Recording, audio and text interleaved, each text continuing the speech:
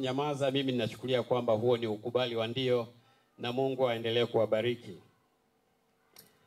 Darasa la msingi ni miaka saba hadi miaka tisa na mwalimu wake ni Dominic Onesmo kama mwalimu kiongozi. Labda nitawasoma wote wawili hawa, na msaidizi wake ni Amos Mjinja. Wanaosema hao wawe viongozi katika darasa hilo. Asante. Mwenye neno, barikiweni. Darasa la vijana wadogo, yani miaka kumi hadi kumi na miwili. Mwalimu kiongozi Alexi Kayola na mwalimu kiongozi msaidizi ni Samuel Buhaga. Wanaopitisha majina hayo katika nafasi hiyo, mwenye neno Amina. Kuna darasa pia lingine la vijana wadogo, kwa mara mbili hawa. Hawa ni umri wa miaka kumi na mitatu hadi kumi na minne. Mwalimu kiongozi ni Michael Mlonganile na msaidizi wake ni Ana Mwanisawa. Watasema majina hayo yapite katika nafasi hiyo. Amina.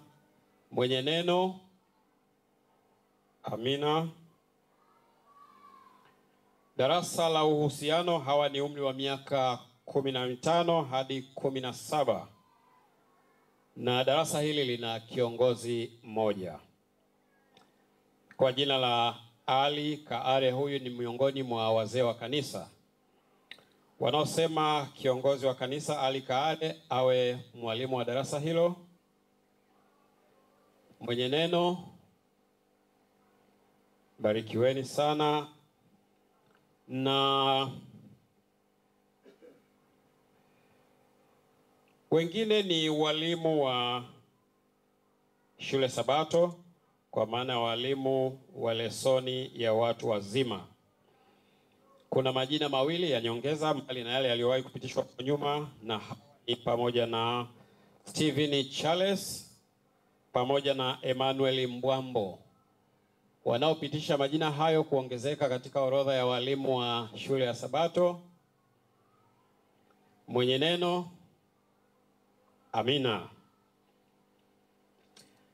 Tangazo namba saba ni maadhimisho ya kwaya ya vijana anniversary. Leo tarehe kumi na nane mwezi wa tatu elfu mbili na ishirini na tatu kwaya ya vijana wa kanisa la Waadventista wa Sabato Vijibweni wanaadhimisha miaka saba wakiwa katika huduma ya kazi ya utume.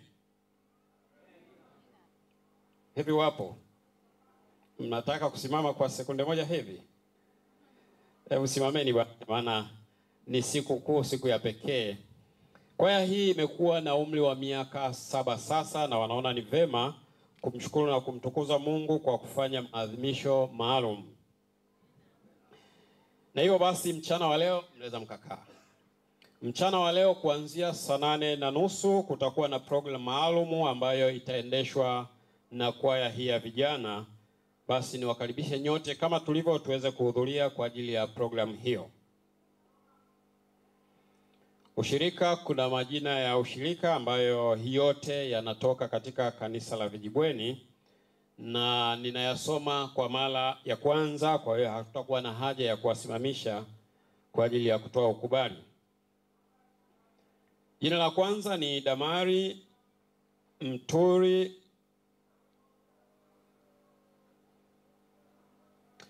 Jina la kwanza ni Damali Mtuli. Huyu atahama kutoka Vijibweni kwenda Kimele. Ingependeza zaidi kama tungeongeza Kimele ni mji gani, maana inawezekana kukawa na changamoto pia ya kujua haya ni maeneo gani. Jina la pili ni Grace James. Huyu anaenda kule Majimoto. Jina la tatu ni Josia Samson Zakaria huyu anahamia Kibada. Nne ni Susan E. Patroba toka Vijibweni pia kwenda kanisa la Kibada. Namba tano ni Paulo Deus, huyu anahamisha ushirika kwenda Mwamanyili. Namba sita ni Richard Manda. Oh, Amina, naona anafahamika vizuri huyu. Huyu ni Richard Manyanda na anahamisha ushirika wake kwenda Mwanadilatu. Ni Kigamboni hiyo ha? Basi makalani, mnaweza mkawa mnatuongezea pale uh, eneo kwa maana ya ule mji ili kusudi tuweze kutambua haya uh, ushirika wao unapokuwa kwa karibu zaidi. Namba saba ni Brighton Laurent Kayuni. Huyu anahamia Ola City, ni Arusha hiyo. Nambari nane ni Lucia Pius, huyu anahamia Mwongozo, bado ni Kigamboni kwetu huko. Na wa mwisho namba tisa ni Gloria T Mushi, huyu anahamia Ihumwa. Ihumwa naamini ni kule Singida.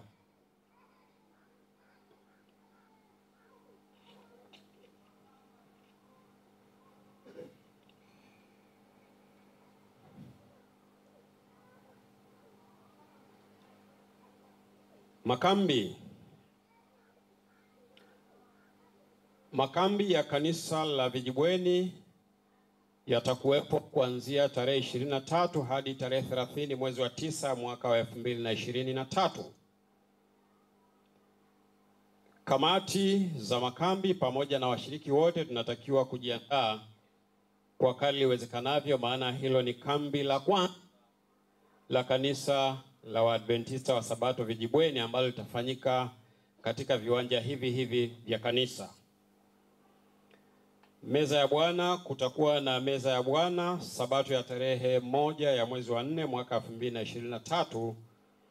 Sote kama tulivyo tujiandae kwa ajili ya huduma hiyo takatifu. Baraza la kanisa, kutakuwa na baraza la kanisa tarehe mbili ya mwezi wa nne mwaka wa elfu mbili na ishirini na tatu kwa ajili ya kupitia taarifa za utekelezaji wa malengo ya idara kwa robo ya kwanza ya mwaka elfu mbili na ishirini na tatu. Hii ni robo ambayo inaisha mwezi huu wa tatu. Hivyo basi, wakuu wa idara waanze kuwasilisha taarifa zao katika sabato ijayo, lakini wahitimishe taarifa hizo itakapokuwa imefika tarehe moja ya mwezi wa nne, kwa maana ya sabato ya mwisho wa mwezi huu wa tatu.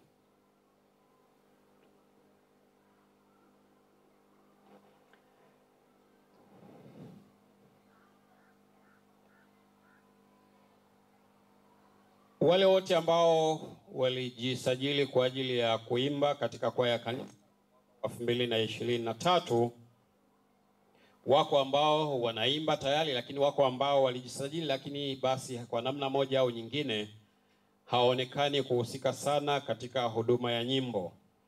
Basi hayo makundi yote mawili mnaombwa mara baada tu ya ibada mkutane kwa dakika chache na kiongozi mwenyekiti wa kwaya naamini katika eneo lenu hapa kwa ajili ya mazungumzo mafupi.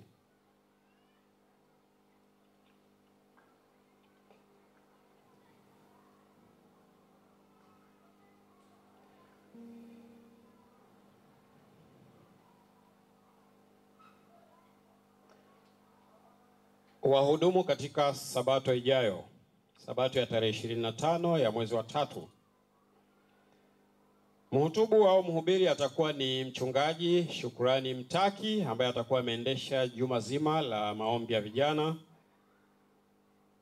na mwenyekiti atakuwa ni January Ndagala, mmoja wa wazee wa kanisa. Fungu kuu pamoja na ombi vitaletwa na Michael Kimbute.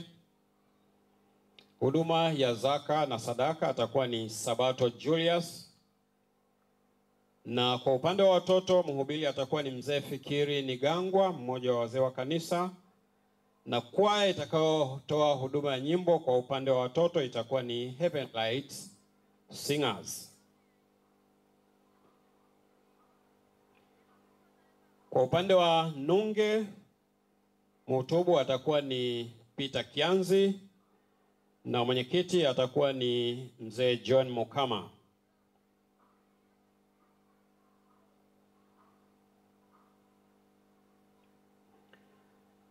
Na mwisho ni zamu za viongozi katika juma linaloanza kesho. Kwa upande wa ofisi ya wazee, mzee wa kanisa atakuwa ni mzee Kiangi Emmanuel, na kwa upande wa karani atakuwa ni Joyce Mbwambo. Mashemasi wa zamu watakuwa ni pamoja na ndugu Nason Nzala, Wema George, Perpetua Samson, Joyce Metusela pamoja na Petro Mgendi. Mwisho wa matangazo. Mungu wa wabariki na tuendelee kunyenyekea mbele zake tunapoikaribia sasa huduma kuu ya Sabato ya leo. Mungu awabariki.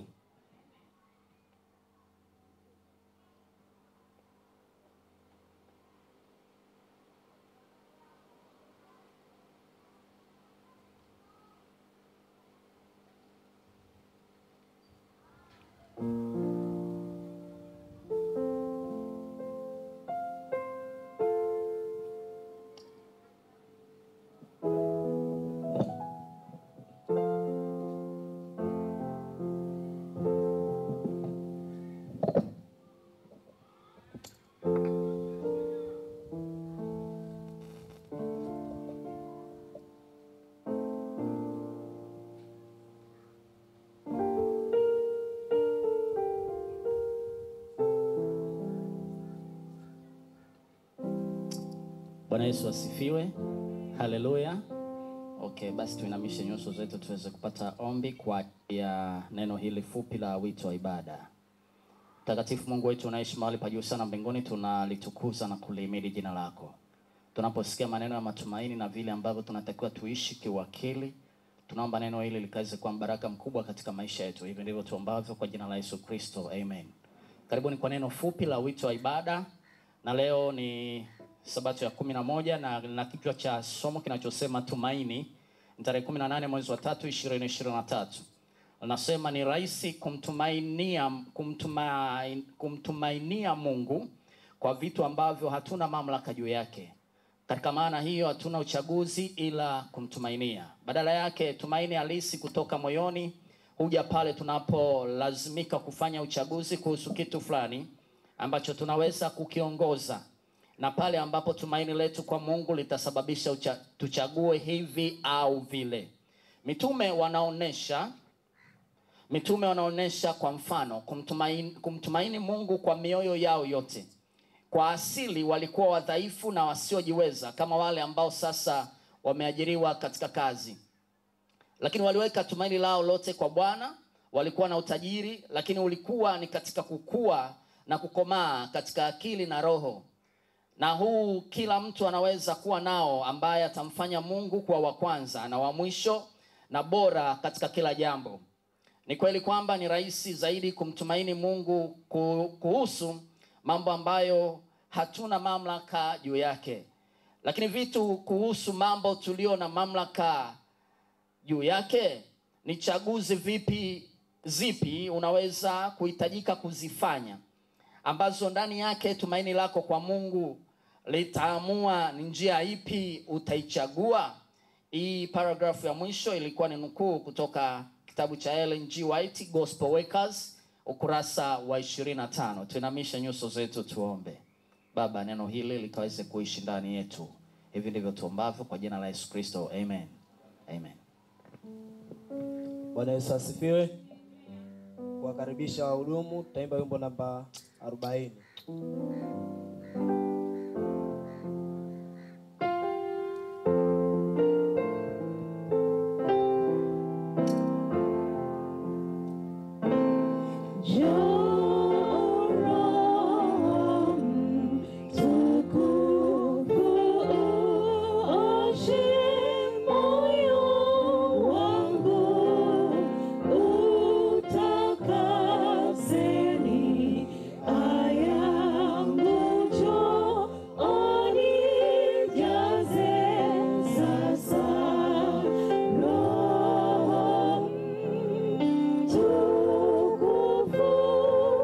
就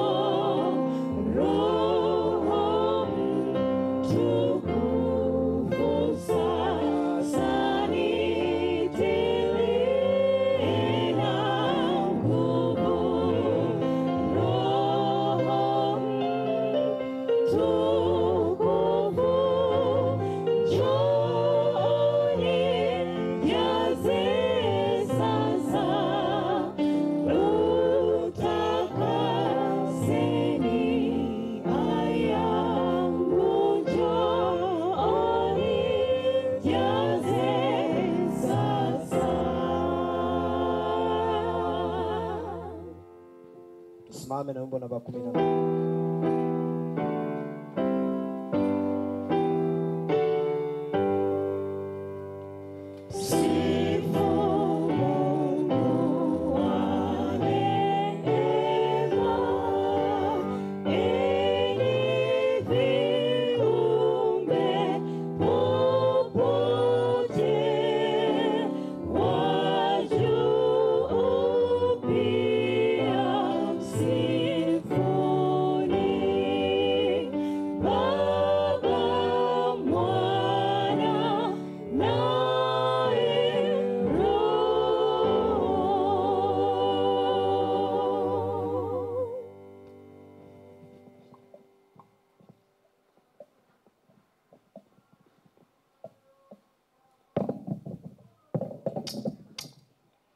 Tuombe.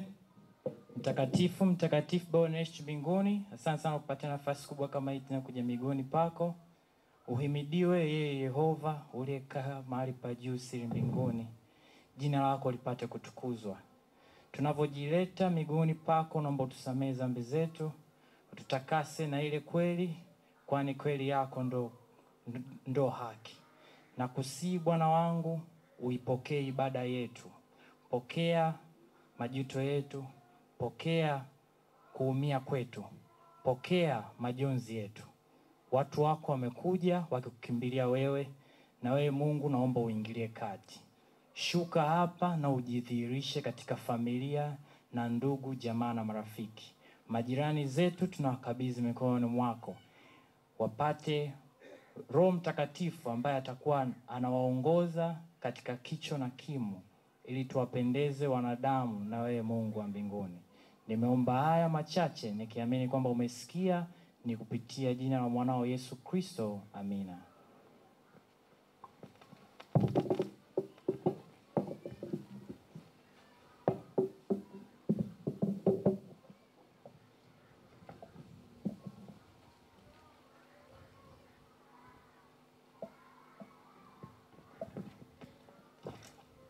Bwana Yesu asifiwe.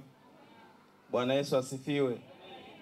Ya tusikilize fungu uh, la maandiko matakatifu linapatikana Wakorinto wa pili sura ya nane mstari wa tisa. Wakorinto wa pili sura ya nane mstari wa tisa inasema, maana mmejua neema ya Bwana wetu Yesu Kristo, jinsi alivyokuwa maskini kwa ajili yenu, ingawa alikuwa tajiri, ili kwamba ninyi mpate kuwa matajiri kwa umaskini wake. Nitarudia, maana mmejua neema ya Bwana wetu Yesu Kristo, jinsi alivyokuwa maskini kwa ajili yenu, ingawa alikuwa tajiri, ili kwamba ninyi mpate kuwa matajiri kwa umaskini wake. Mungu ayabariki hayo kwa jina la Yesu, amen.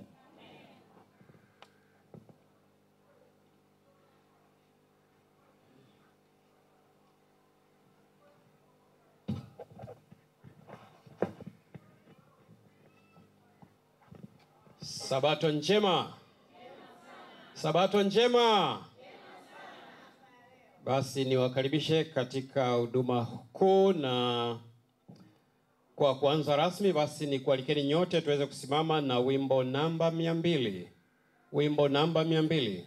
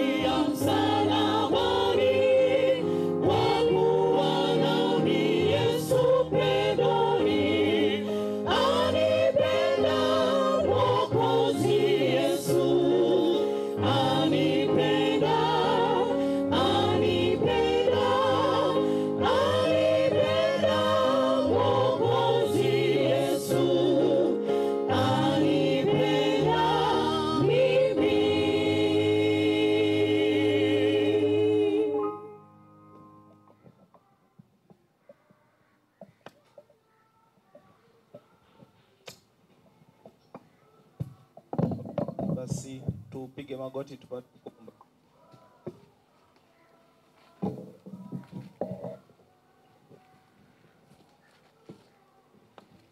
Baba yetu mtakatifu unayeishi mahali pa juu mbinguni, tunakushukuru sana kwa uwepo wako katika maisha yetu. Tunakushukuru kwa zawadi ya neema na uzima ambayo umetupatia hadi sasa. Jina lako litukuzwe. Tumekuja katika ibada ya leo, ibada takatifu sana, ibada ya sabato yako. Yale yote ambayo umekusudia tujifunze, tuyapate katika ibada hii, Bwana, yakabadilishe mioyo yetu. Tunaleta ibada zetu za matoleo, ibada zetu za nyimbo, ibada zetu za maombi katika miguu yako Bwana, ukavibariki vyote. Ibada ya leo, sabato ya leo ikawe sabato yenye upekee katika maisha yetu yote.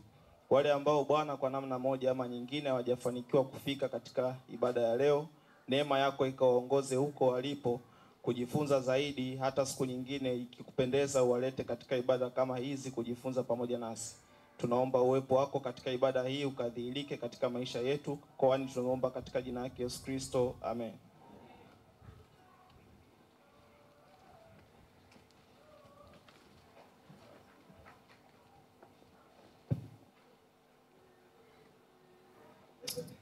Bwana ni mwema wakati wote. Sabato njema, sabato njema. Leo ni wiki ya kumi na moja Machi kumi na nane elfu mbili na ishirini na tatu ibada ya matoleo. Mwandishi anaanza kwa kichwa kinachosema mbuzi wapata marafiki. Mbuzi wapata marafiki. Yohana wa kwanza tano mstari wa kumi na tatu inasema, nimewaandikia ninyi mambo hayo ili mjue ya kuwa mna uzima wa milele ninyi mnaoliamini jina la mwana wa Mungu. Yohana wa kwanza tano kumi na tatu. Familia ya Christopher ilikuwa imechoshwa na maisha ya mjini, ikaamua kuhamia kwenye kijiji cha mlimani huko Ureno ili wawe karibu na Mungu na pia wao kwa wao. Makazi hayo mapya yalikuwa na bustani na nafasi kubwa nzuri kuruhusu Christopher na watoto wenzake kucheza kwa uhuru. Familia ilipowasili ilikuwa haizungumzi Kireno, hivyo Christopher na mama yake waliamua kujichanganya na majirani wawape msaada na hatimaye wawazoee.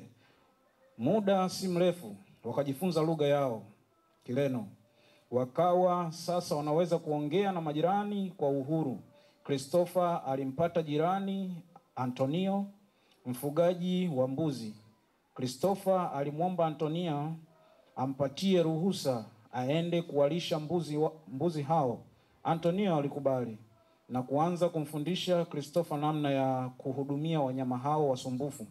Hii ilimjenga ilijenga urafiki. Hatimaye Christopher aligundua kuwa Antonio hajui kusoma na kuandika. Christopher alijitolea kumfundisha Antonio namna ya kusoma na kuandika, kisha akaja na Biblia wapate kujifunza pamoja. Antonio alisikiliza kwa makini kadri Christopher alivyokuwa akisoma visa kutoka katika Biblia. Antonio alifurahia sana kuona mtu anamsomea ujumbe kutoka kwa Mungu. Alimweleza Christopher kuwa aliamini kuwa yupo Mungu mbinguni na kwamba miaka michache iliyopita bibi yake aliamini kwamba sabato ya siku ya saba ya juma ndiyo siku sahihi Mungu aliyebarikia iwe siku ya ibada na mapumziko. Kristofa alifurahi kupata rafiki ambaye angeweza kumshuhudia habari za Mungu. Kristofa alimwalika Antonio kanisani, ila kanisa la karibu la wadventista lilikuwa mbali mno na barabara zenye mashimo tele kiasi uh, sichomudu Antonio kusafiri. Hivyo familia ya Christopher iliwasili nyumbani kwa Antonio kuomba na kusoma Biblia pamoja. Habari ilienea pote katika jamii kuwa Christopher alikuwa akimfundisha Biblia Antonio. Wengine walivutiwa kuwa nao, kuwa nao pia wajiunge. Antonio aliruhusu wote wenye nia ya kujifunza Biblia waje hapo nyumbani kwake wajifunze Biblia pamoja. Muda si mrefu ikawa ikawa wana kijiji wengi walihudhuria nyumbani kwa Kristofa kwa ibada. Wakazi wengi waliwasili na kujiunga na darasa hili, wakapata kujua upendo wa Mungu. Pote katika milima ya Ureno ya kati watu walikuwa wakisikia ujumbe wa Mungu kwa vile kijana mdogo alishuhudia upendo wa Mungu kwa mfuga mbuzi. Sadaka zetu za ahadi za uaminifu zitolewazo kwa kawaida na utaratibu kama zaka na kusambazwa katika kama inavyopendekezwa mpango wa kutoa kwa, kwa mjumuisho huwatambulisha wakazi wa milimani, vijijini na waishio kwenye majiji wapate kumjua Yesu. Mpango huo wa sadaka ya pamoja hupendekeza kwamba asilimia hamsini hadi sitini wa sadaka zako za ahadi zapaswa kusaidia kuhudumia utume katika makanisa mahalia na asilimia ishirini na thelathini kuhudumia masuala ya utume katika konferensi yako na asilimia ishirini kuhudumia utume ulimwenguni ikiwemo kutumia wamishonari, mission program miradi na taasisi zenye lengo la kuandaa wamishonari. hebu utoe kwa moyo wa ukarimu ili kutimi, kuimaliza kazi ya Mungu. Tumlaki Yesu, twende makao ya mbinguni. Mungu awabariki. Tufumbe macho kwa ajili ya ombi. Mungu wetu na Baba yetu wa mbinguni, tunakushukuru kwa upendo wako. Masaa Mungu wetu, tupo katika ibada ya matoleo, kuwa pamoja nasi kwa kile ambacho tutakachokitoa kikapate kuwa baraka kwetu na kwa kizazi chetu, na hata mbali ambako bado hawajajua ukweli wakapate kujua ukweli kupitia matoleo haya. Kwa pamoja nasi katika ibada yetu, katika jina lako Yesu tumeomba, amin.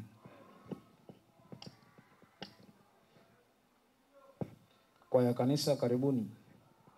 Utaratibu wa utoaji wa, za, wa zaka na sadaka utakuwa kama ifuatavyo. Masanduku haya yenye rangi ya udongo yatatumika kwa ajili ya kutoa zaka na sadaka. Baadaye, baada ya kumalizika huduma hii ya zaka na sadaka, tutatoa sadaka yetu ya majengo ambayo ni bukubuku. Mungu awabariki.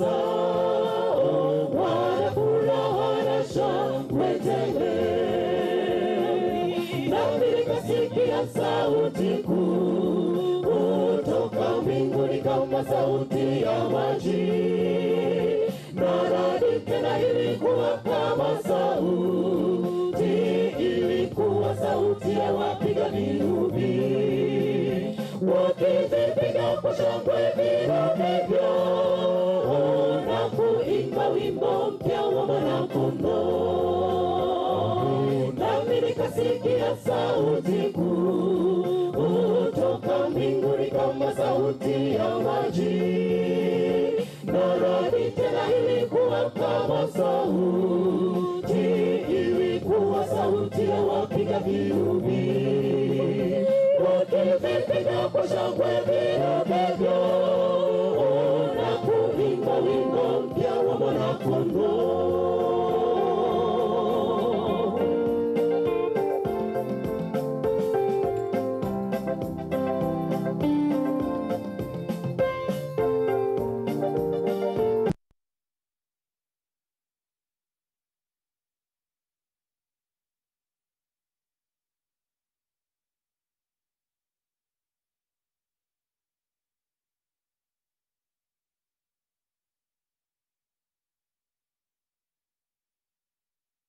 kama unajisi pamoja na wanawake kwa maana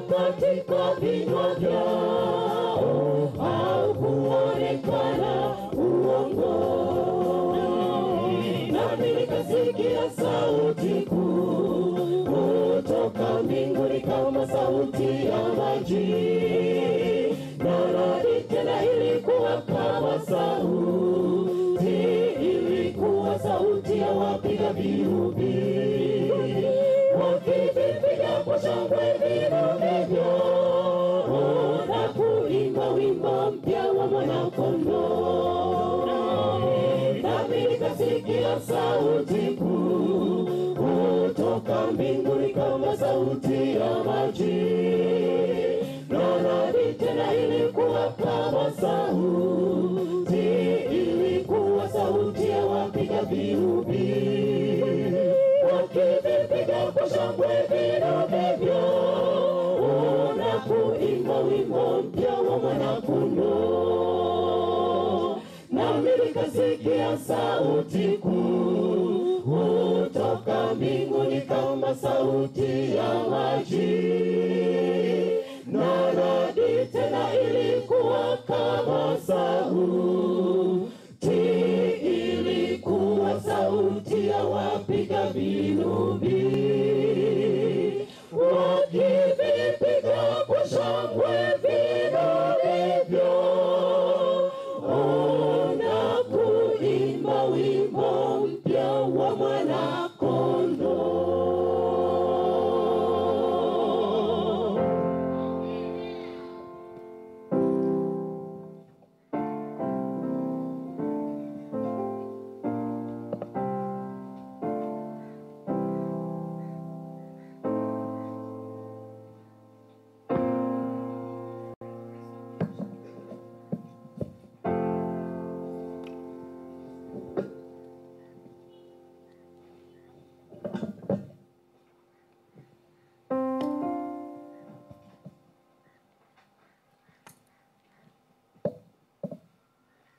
Basi mbarikiwe nyote kwa ajili ya huduma hiyo njema ya zaka na sadaka.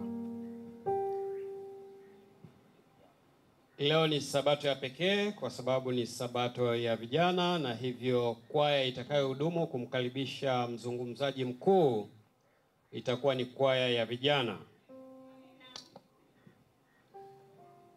Na kabla hawajafanya huduma hiyo, basi ningependa kutoa utambulisho wa timu ambayo imehudumu leo katika huduma kuu. Nikianza na mashemasi, popote pale mlipo, ikiwa mnaweza mkasimama na kulipungia kusanyiko hili mikono. Amina.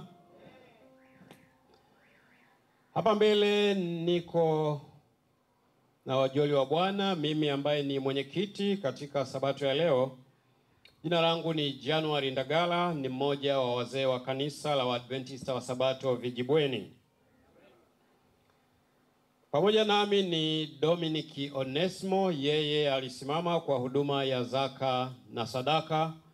Kama hutajali, unaweza kusimama na kuwapungia watu wa Mungu mkono. Pamoja nasi pia ni Edward Ndalo, yeye alisimama kwa huduma ya fungu kuu na ombi. Lakini ambaye atasimama kwa kipindi kirefu kidogo akiwa ni mhutubu ni ndugu yetu Daniel Mjema ambaye pia ni kiongozi mkuu wa idara ya vijana katika kanisa letu la Waadventista wa Sabato Vijibweni. Na Daniel Mjema atasimama mara tu uh, kwaya ya vijana ikimtangulia kwa wimbo maalum, wimbo wa pekee, na Bwana wabariki wanapofanya huduma hiyo.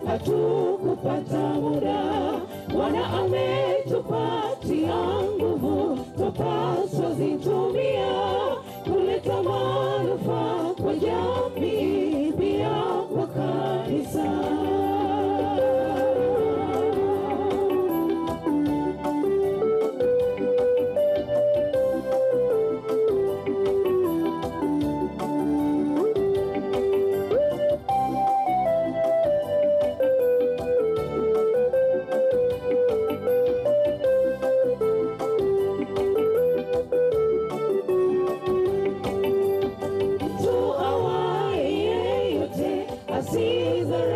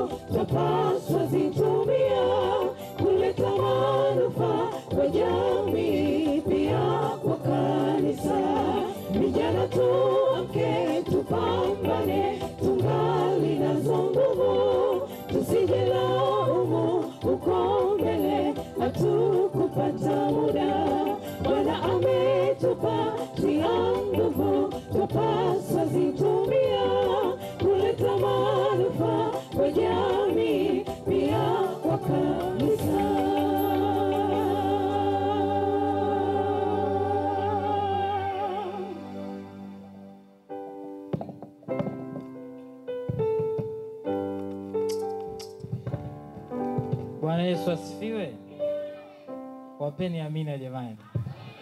Mbariki sana kwa vijana.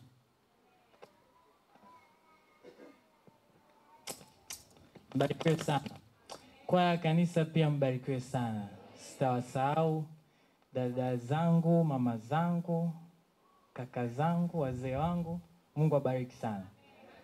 Brother Nikundiwe, ubarikiwe sana yeah. Nipende kurecognize watu ambao wanatuwatch online. Mungu awabariki sana kokote mlipo, Mungu atende kwa ajili yenu. Pia nisingesahau wazee wa kanisa.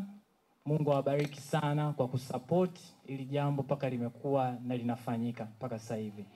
Pia nipende kumshukuru Elda kwa kujitoa kwa ajili yetu vijana. Mungu awabariki sana. Mungu asikie ibada yetu katika siku ya leo. Tunazindua juma la maombi la vijana, na juma hili tuli juma hili tunaenda kubarikiwa kuwa na mchungaji Pasta Shukurani Mtaki ambaye anatokea ETC kule Rift Valley. Kwa hiyo ni mbaraka wa pekee sana, tunaenda kuwa naye katika juma zima. Pia tumkumbuke katika maombi, mumwombee sana, kwa sababu ana changamoto ya mke wake. Mke wake anaumwa, ila mumkumbuke katika maombi, mumkumbuke sana katika maombi. Na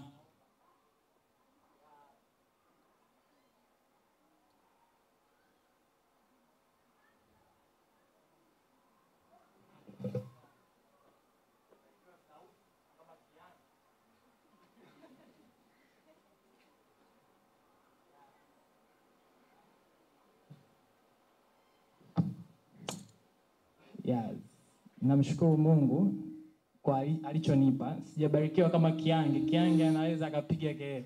Pia kule kazini kwetu kuna kuna bosi wetu mmoja tulivyokuwa kozi, anaweza asitumie mic, lakini mtu aliyekuwa huko bwenini akasikia.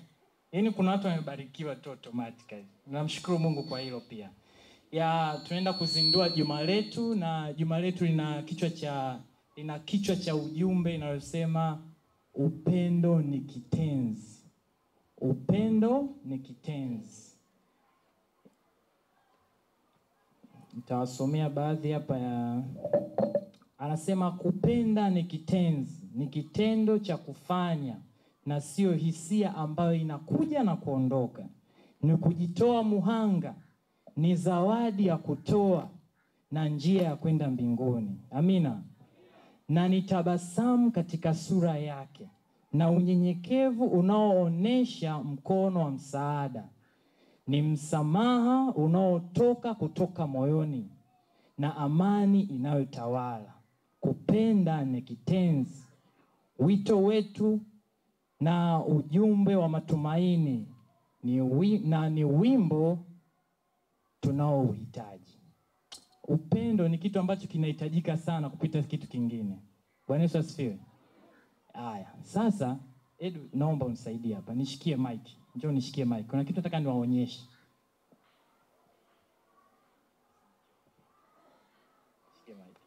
Ninataka wote tufanye hivi. Fanyeni hivi. Fanyeni, ongeza spidi, ongeza spidi. Shika shika kichwa.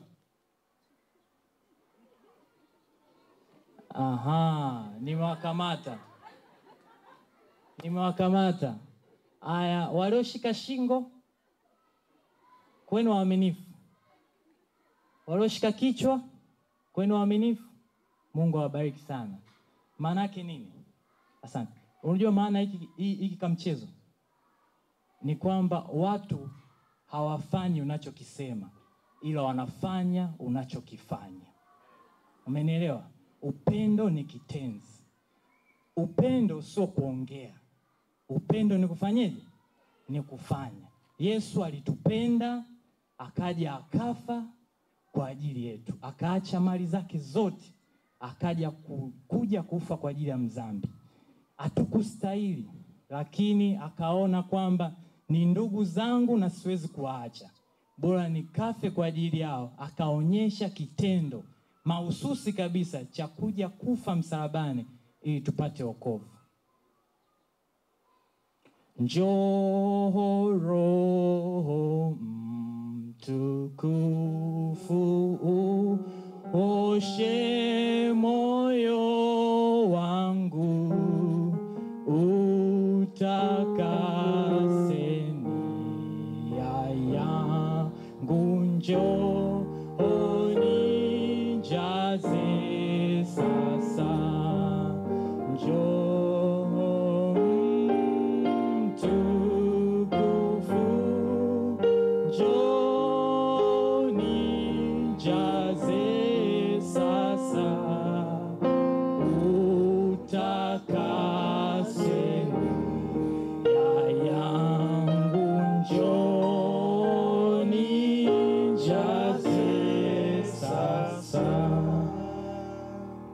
Mtakatifu, mtakatifu Baba unaishi mbinguni, asante sana kwa nafasi ya pekee uliotupatia kuja kuabudu katika siku ya leo.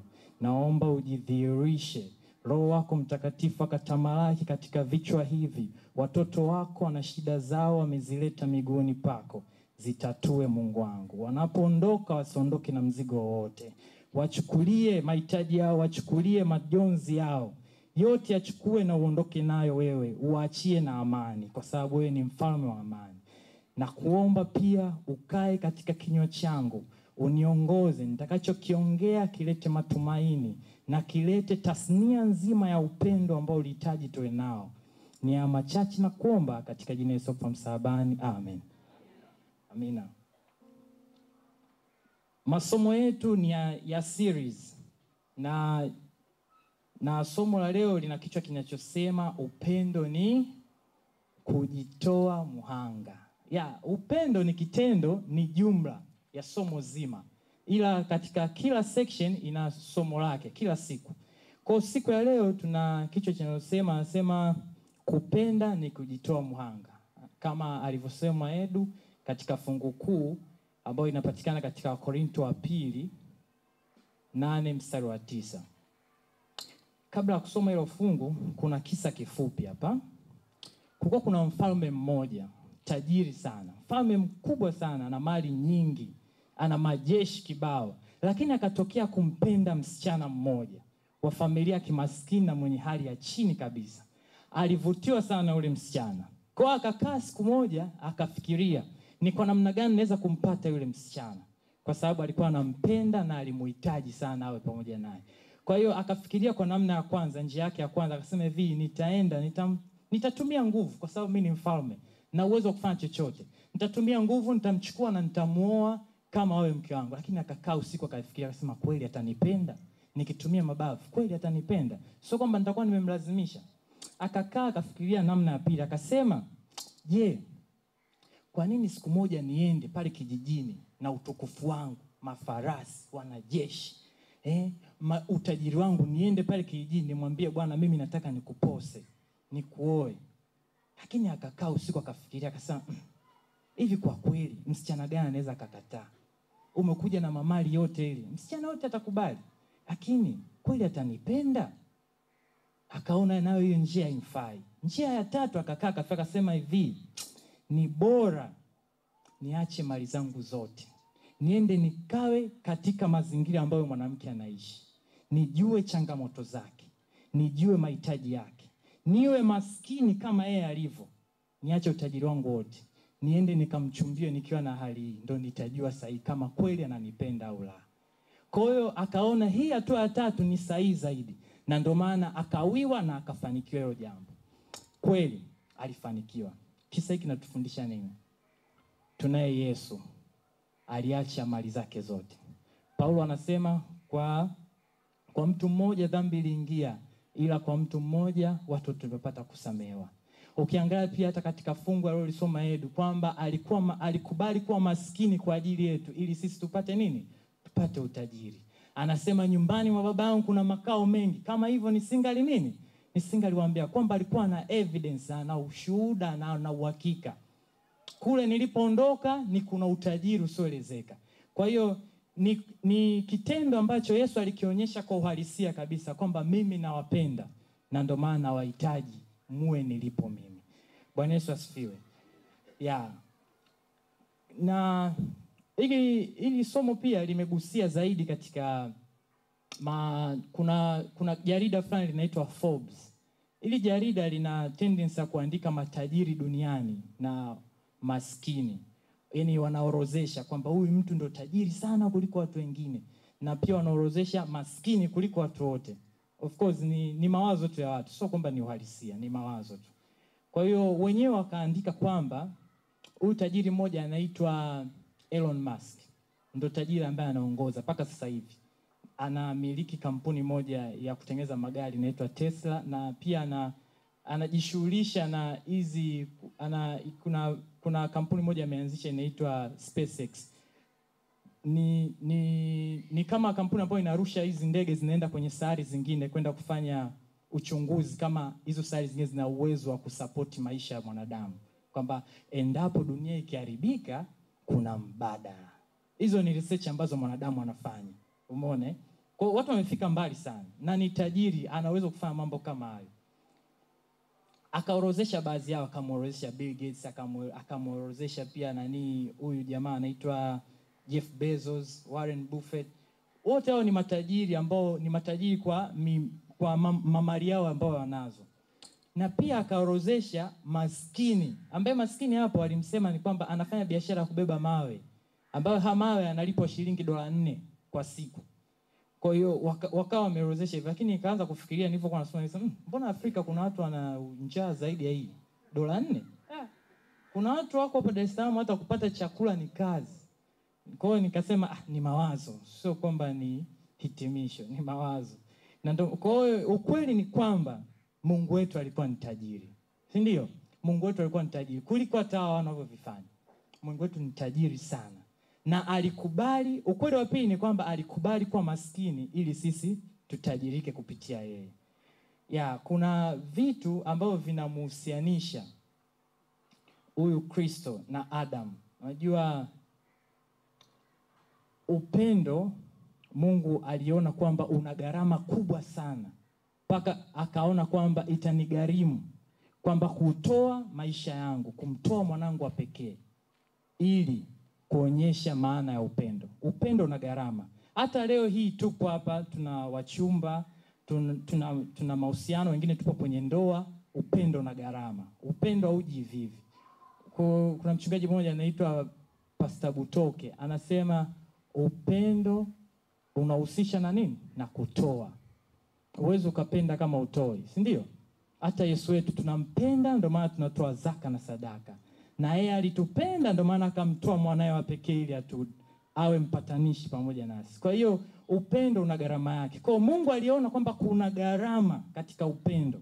Na hii gharama lazima niwaonyeshe hawa wanadamu kwamba ni kwa namna gani nawahitaji.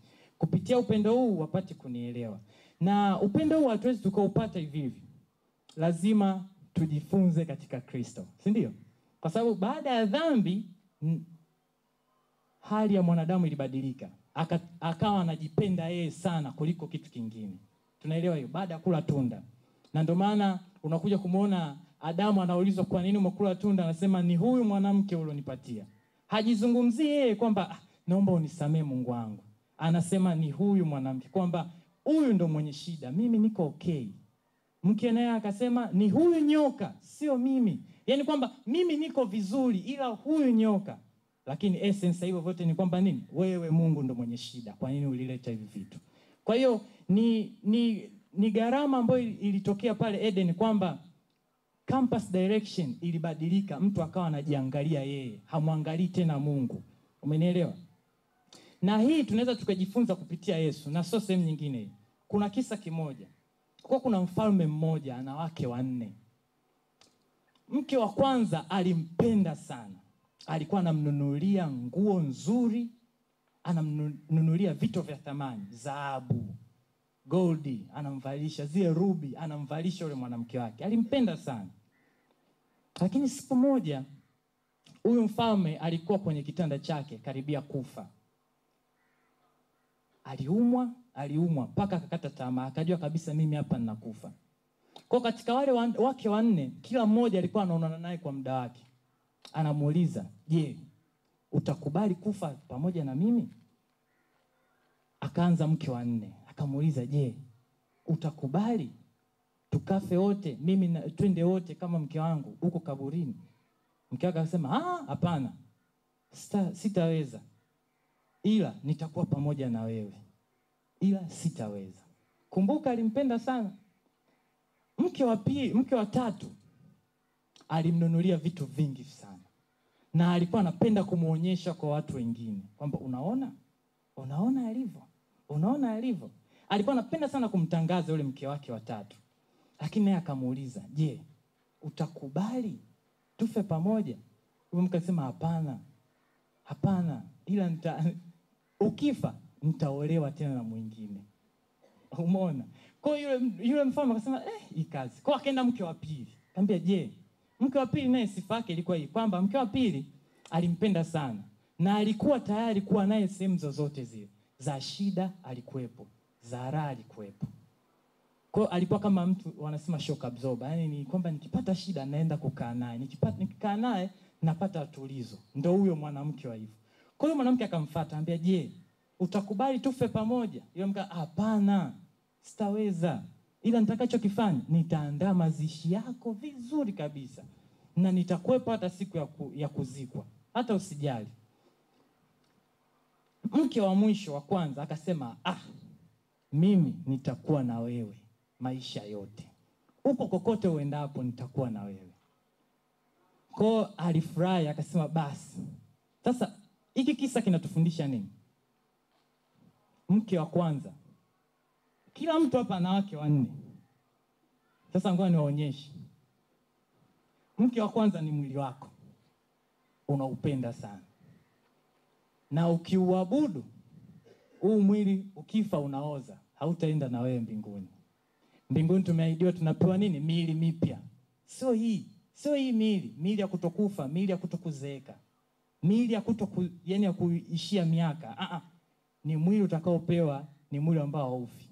Mke wa tatu ni nini? Mke wa tatu ni mali zako.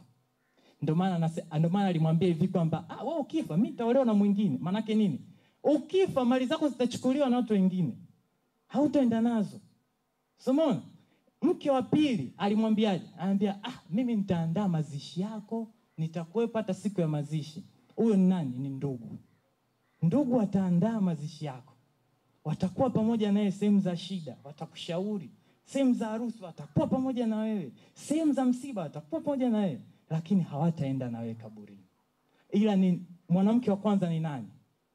Ni tabia ya Kristo, haiwezi kukuacha hata huko mbinguni unapoenda, lazima uwe na tabia ya Kristo, kwa sababu bila kuwa na tabia ya Kristo huwezi ukaishi mbinguni. Mbinguni, ili uwe raia wa mbinguni, lazima uwe na tabia ya Kristo. Bwana Yesu asifiwe. Kwa hiyo ni kuakisi tabia ya Kristo, kwa sababu tunasema tunamhitaji Kristo ili kujua upendo. Bila Kristo huwezi kujua upendo. Bwana Yesu asifiwe.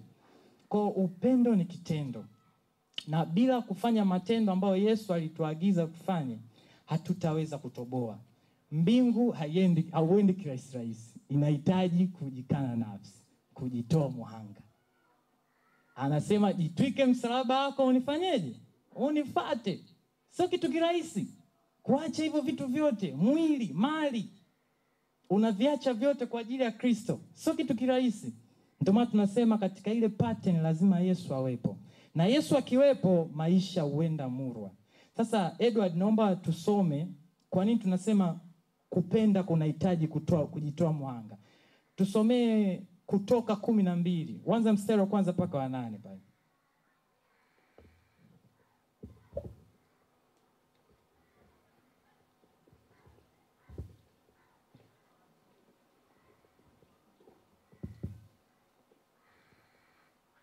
Kutoka kumi na mbili mstari wa kwanza mpaka nane anasema Bwana akanena na Musa na Haruni katika nchi ya Misri, akawaambia, mwezi huu utakuwa mwanzo wa miezi kwenu, utakuwa ni mwezi wa kwanza wa mwaka kwenu. Semeni na mkutano wote wa Israeli mkawaambie, siku ya kumi ya mwezi huu kila mtu atatwaa kondoo mwanakondoo kwa hesabu ya nyumba ya baba zao, mwanakondoo kwa watu wa nyumba moja na ikiwa watu wa nyumba ni wachache kwa mwanakondoo, basi yeye ni na jirani yake aliye karibu na nyumba yake na watwae mwanakondoo mmoja kwa kadiri ya hesabu ya watu, kwa kadiri ya ulaji wa kila mtu, ndivyo mtakavyofanya hesabu yenu kwa yule mwanakondoo. Mstari wa tano, bwana mwanakondoo wenu atakuwa hana ila, mume mmoja, mume wa, wa, wa mume wa mwaka mmoja mtamtwaa katika kondoo au katika mbuzi, nanyi mtamweka hata siku ya kumi na nne ya mwezi ule ule, na kusanyiko lote la mkutano wa Israeli watamchinja jioni. Nao watatwaa baadhi ya damu yake na kuitia katika miimo miwili katika kizingiti cha juu, katika zile nyumba mtakazomla watakula nyama yake usiku ule ule, imeokwa motoni, pamoja na mkate usiotiwa chachu, tena pamoja na mboga zenye uchungu. Msiile mbichi wala ya kutokoswa majini, bali imeokwa motoni, kichwa chake pamoja na miguu yake na nyuma nya- nyama zake za ndani. Wala msisaze kitu chake chochote hata asubuhi bali kitu kitakachosalia hata asubuhi mtakichoma kwa moto. Tena mtamla hivi, mtakuwa mmefungwa viuno vyenu, mmevaa vitu vyenu miguuni na fimbo zenu mikononi mwenu, nanyi mtamla kwa haraka na nanyi mtamla kwa haraka, ni Pasaka ya Bwana. Mstari wa kumi na mbili maana nitapita katika nita, Asante asante. Kuna yani hapa kuna pattern za Yesu nyingi tu ukizisoma. Huyu mwanakondoo ni Yesu wanayemzungumzia hapa. Hapa alichokuwa anakizungumzia ni kwamba namna ya kutoa kafara yule mwanakondoo. Kwanza lazima atolewe. Akishatolewa yule mwanakondoo anatengwa na wale wenzake, analishwa chakula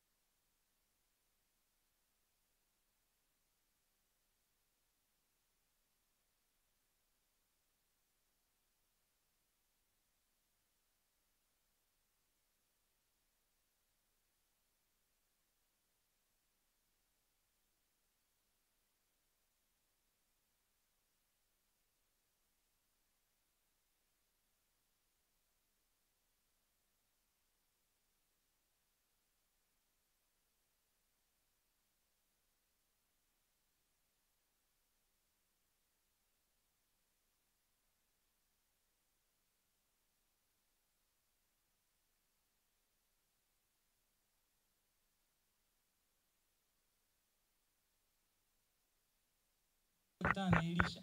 Naye ni hivyo hivyo, alijikana nafsi ili mtumishi wa Mungu apate. Umeniona? Kwa ku, yani ku, kujikana nafsi au kujitoa mwanga lazima ikuume. Yani na hii pia inarudi pia hata Eden, mahusiano kati ya Adam na Yesu. Adam alikubali kuanguka dhambini kwa sababu alimpenda mke wake, lakini kosa lake ilikuwa nini? Kumpenda mwanamke wake kuliko Mungu. Alitakiwa mpende Mungu zaidi kuliko hata mwanamke wake, kwa sababu ange yani, alitakiwa awe na mawazo kwamba hata kama mwanamke akifa, Mungu ataniumbia mwingine. Yani Mungu ndo mtoa kila kitu. Pia kitu kingine anatakiwa ajifunze, tujifunze pia kwa Adam pamoja na nini, kwamba Adam alianguka katika bustani ya Eden kama vile Yesu alivyokubali kuanguka kwa alivyokubali kubeba dhambi yetu pale katika bustani ya Gethsemane. Pia Adam alitolewa kwenye ubavu wake ili mke wake apatikane. Ni kama Kristo alivyokuwa msalabani, alichomwa mkuki ubavuni, damu zilivyotoka, kanisa lake likapatikana. Bwana Yesu asifiwe. Kwa hiyo ni kumtumainia Yesu na Yesu peke yake. Pasipo Yesu hakuna kitu kingine.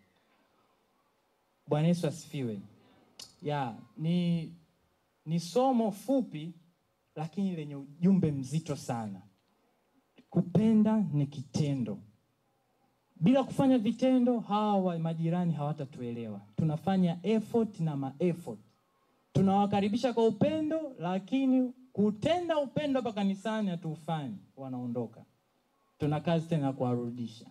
Kwa hiyo inakuwa ni duara tunazunguka ambalo halina nini? Halina kikomo. Kwa ni waasi sana. Tufanye upendo kwa vitendo, ila sio upendo wa hisia. Mungu abariki neno lake katika jina la Yesu. Amina. Yesu kwa imani na kutumaini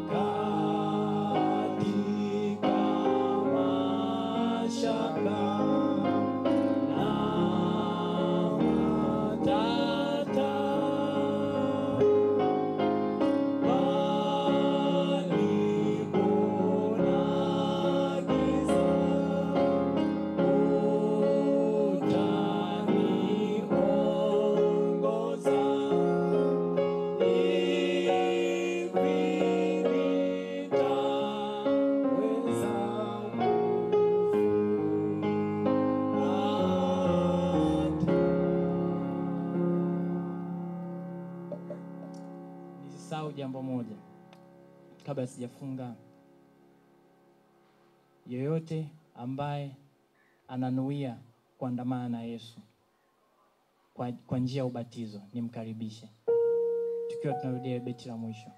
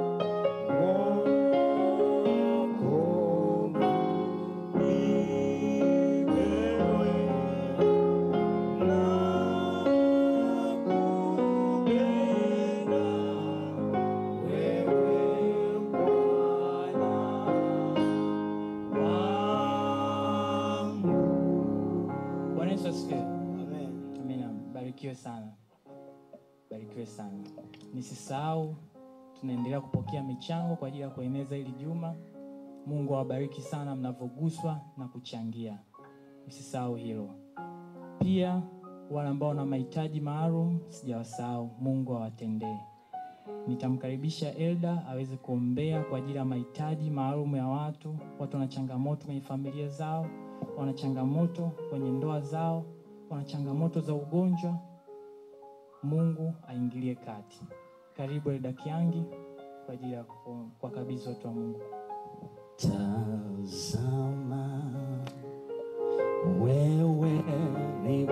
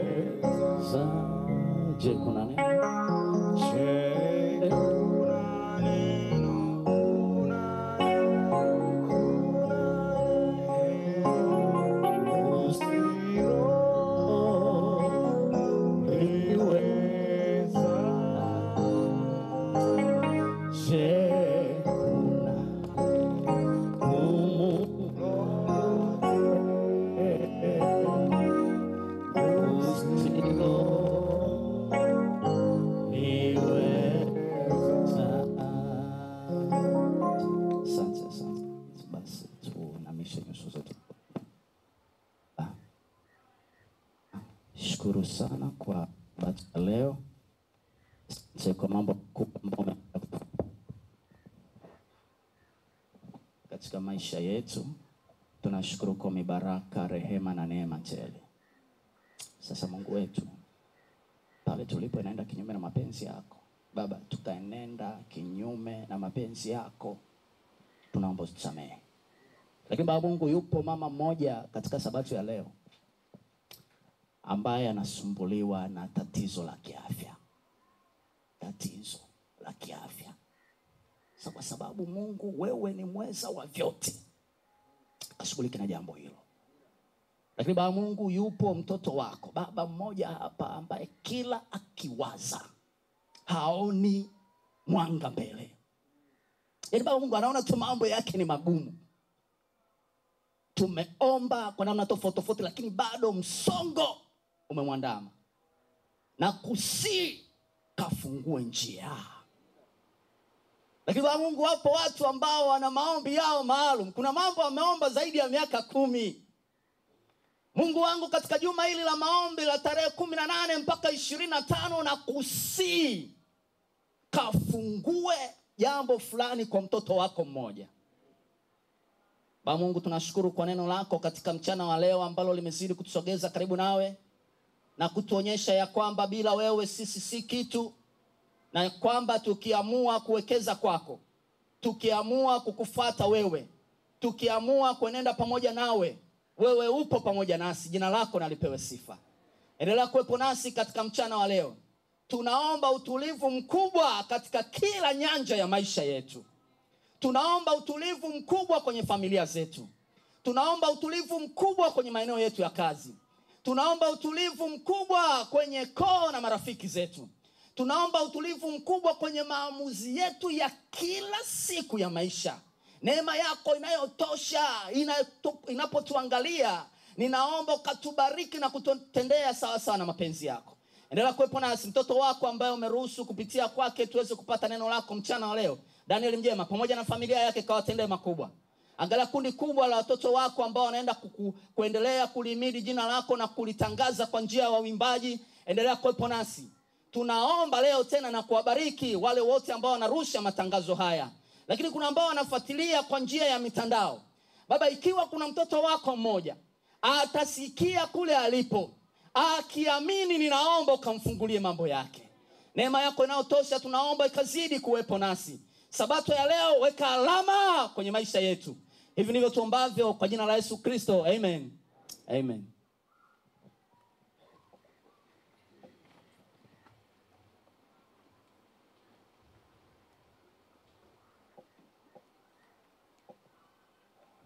Bwana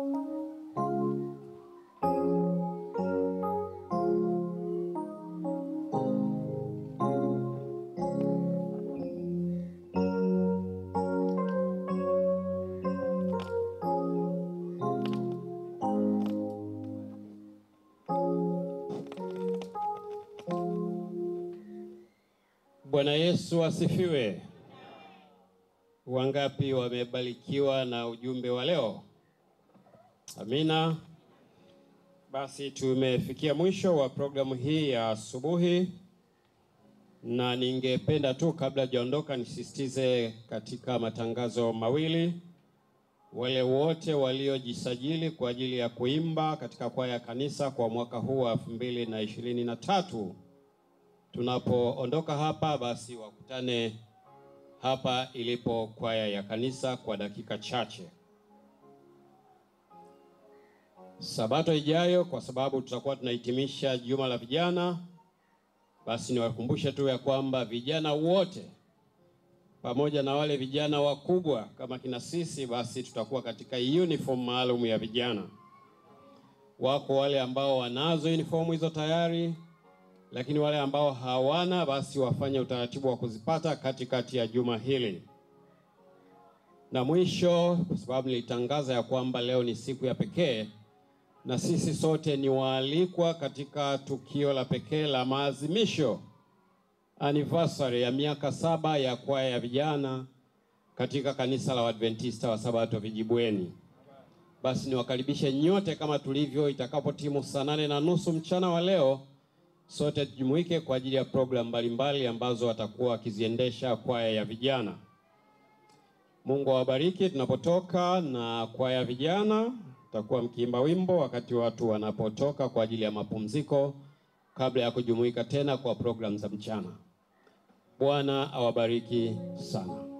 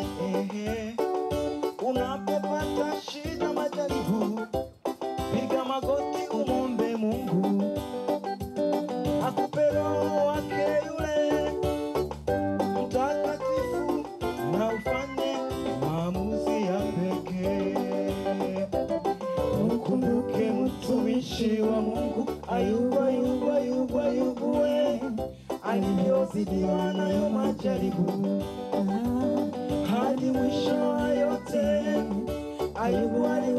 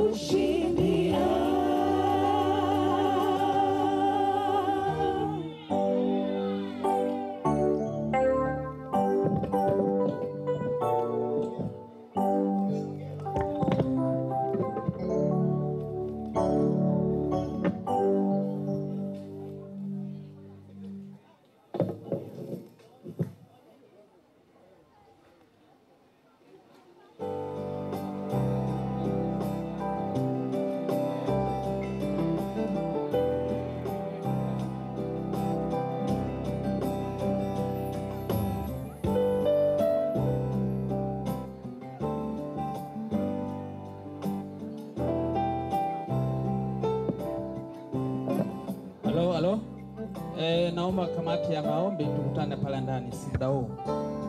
Wale wote ambao wako kwenye kamati ya maombi tukutane pale ndani ndani ya kanisa.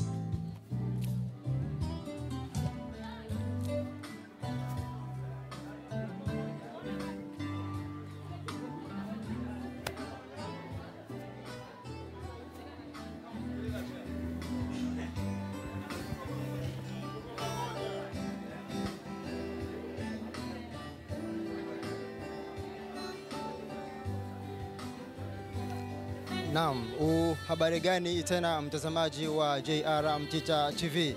Nikupongeze kwa kuendelea kuwa miongoni mwa wanafamilia kuendelea kutazama uh, vipindi mbalimbali mbali kupitia au kutokea kanisa la Adventista wa Sabato.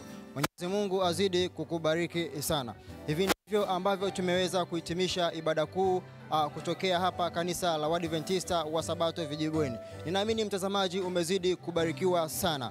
Endelea kuwa mwanafamilia wa JR Mtita TV katika vipindi mbalimbali vya dini ambavyo huwa vinarushwa kila ijumamosi. Mwenyezi Mungu azidi kukubariki sana. Tuungane tena Ijumaa mosi ijayo. Naitwa Ayubu Manji, JR Mtita TV, Dar es Salaam, kutokea hapa Vijibweni SDI Church. Mwenyezi Mungu azidi kukubariki sana.